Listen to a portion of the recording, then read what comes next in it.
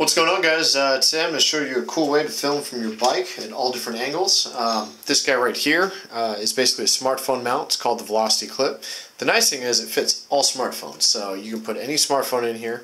Um, once it's in here, you can clip it into your chest, your helmet, or just your